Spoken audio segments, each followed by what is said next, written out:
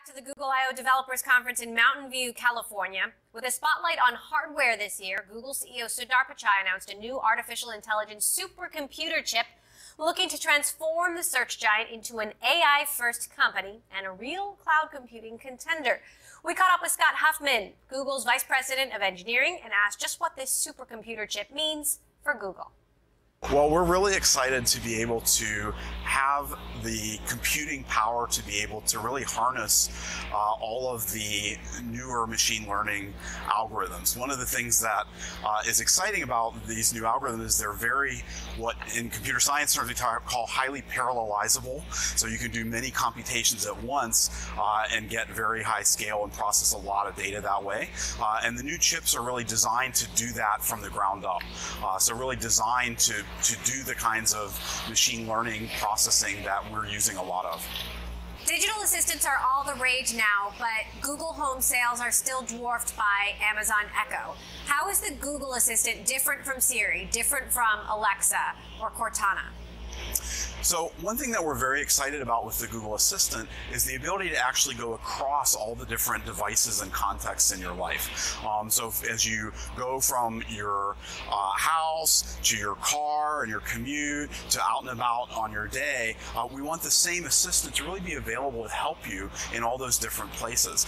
Uh, and so today we're really excited to deploy the assistant out to all the iPhones uh, and make it available to iPhone users in the US. Uh, and we're in the process of rolling out, of course, across all the Android phones, Google Home, Android Auto, Android TV, Android Wear. So really making that, that uh, assistant always available to you no matter what you're doing. Now, what is it going to take for voice technology to actually improve? Because, uh, you know, I've used all of these devices, and in my own experience, it's still rather crude. Well, so, uh, so we think we're making a lot of progress, uh, but one of the big things, and, and Sundar talked a little bit about it today, is really using uh, broad scale data and neural algorithms in order to uh, to improve the technology. Uh, so we've been actually pretty significantly overhauling kind of all of our algorithms under the hood every couple years to take advantage of the new computing power that we have uh, and new and larger amounts of data. And every time that we do that, we see a pretty big jump uh, in improvement. One of the things that we did with as we worked on bringing Google Home to the market that was really uh, an exciting thing is because Google Home needs to work at, at a distance, I might be standing far away, there's a lot more noise in the in the microphone signal.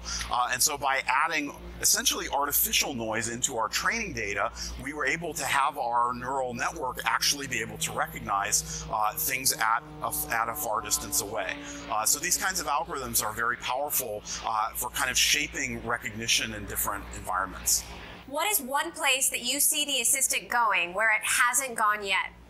Today, we are we're enabling a voice conversation into a great set of functionality, but that uh, you know that users are doing sort of the obvious things on every device, but I don't think we fully realized yet the vision of having any kind of conversation you want, uh, having it really be understood, uh, and then having the assistant tap into all the different services in the world in a seamless way to do that. That's really the vision, uh, and so I think we have a long way to go. One example that we showed some beginnings of today that we're really excited about uh, is something we call Google Lens, uh, and this is just the realization that you know speaking out loud is great, but when I'm talking with my friend, a lot of times what I do is point at something, and then we talk about that. We talk about what we see.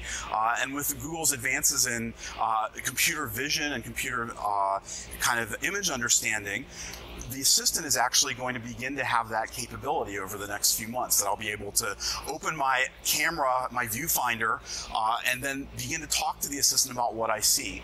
Uh, and so we're really excited about, about that.